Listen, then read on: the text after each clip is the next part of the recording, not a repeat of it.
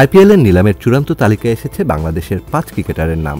সবকিছু ঠিক থাকলে এবারের আসরে দেখা যাবে বাংলাদেশের সর্বোচ্চ সংখ্যক পাঁচ ক্রিকেটারকে।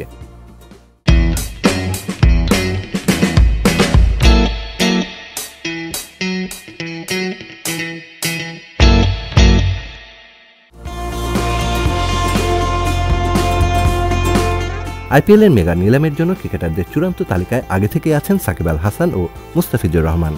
তবে এবারে ভারতের ফ্র্যাঞ্চাইজি টুর্নামেন্টে তারা ছাড়াও বাংলাদেশ থেকে জায়গা হয়েছে আরও তিনজনে।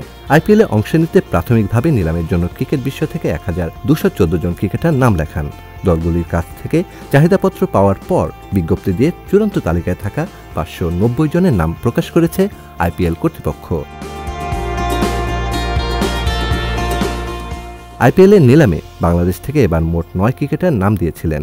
সেখান থেকে সংক্ষিপ্ত তালিকায় সাকিব ও মুস্তাফিজের সঙ্গে জায়গা হয়েছে লিটন কুমার দাস, তাসকিন আহমেদ ও শরীফুল ইসলামের। ভারতের বেঙ্গালুরুতে আগামী বারো ও তেরো ফেব্রুয়ারি অনুষ্ঠিত হবে এবারের আইপিএল নিলাম।